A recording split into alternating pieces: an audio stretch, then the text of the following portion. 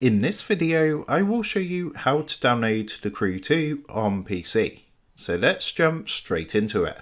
So to go ahead and do this, first thing you're going to want to do is open up a new internet browser, come across to google.com, and then what you want to do is go ahead and type Steam into the Google search box. And what you want to do is come across to the official website, which is store.steampowered.com. Now, Steam is a games launcher and a games marketplace, and this is what you can use to actually get hold of The Crew 2.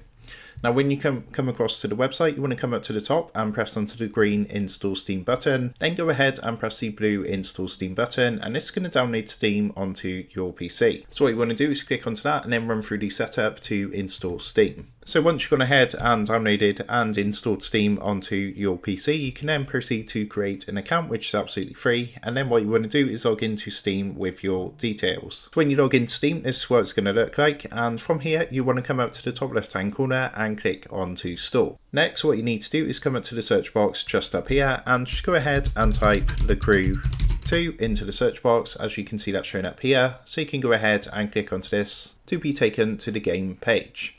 Now from here you can download a free demo, you don't have to pay for this, or if you want you can purchase one of the many versions on here. So you've got the standard edition, special edition and the gold edition. So what you need to do is press the green button to add to cart or press the green button to download the free demo if you want to do that. And once you've done that, if you want to purchase a full game, once you've clicked onto add to cart, you want to click onto the blue view my cart button. So that's going to take you across to this screen and from here you want to come across to the right and press the blue continue to payment button. Then what you can do is proceed to enter your details so you can choose how to pay for the game. So you've got options like your Steam wallet, PayPal, Visa, MasterCard and so on and so forth. Of course this does depend upon which country you're in as to what payment method you have available. But what you want to do is select your payment method and then go ahead, fill in your details and press continue. Once that's done, you would have purchased the game and once that's been purchased, you want to come up to the top left hand corner and click onto library to go to your games library. Now from here, you should see the crew 2 in this games menu on the left hand side. So what you want to do is give that a click. I've not currently got it on this account, but you would find the game and click onto it